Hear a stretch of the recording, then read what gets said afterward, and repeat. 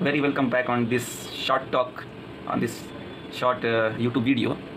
I want to mention about the uh, genetic disorder which is called down syndrome.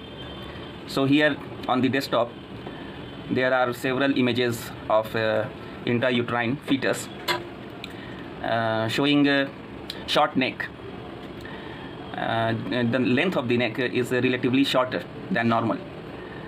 And uh, in different views of images we can notice that uh, definitely of course there is a shortened shortening of the neck length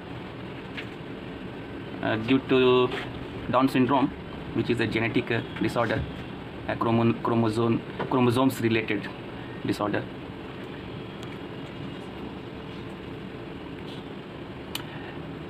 Additionally uh, it uh, this uh, fetal well-being ultrasound show, showing relatively larger amount of uh, fluids amniotic fluids in the uterine cavity.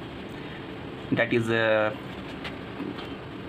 hallmark of uh, abnormally anomalies.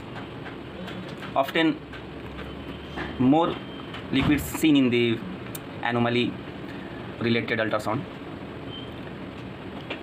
so more fluids more than 25 centimeter amniotic fluid index is noted in this given ultrasound.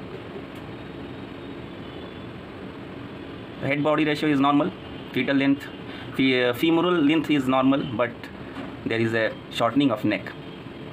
The chin and the thorax upper edge of thorax uh, closely closely adhere so definitely it, it, it will be a case of down syndrome fetal anomaly related ultrasound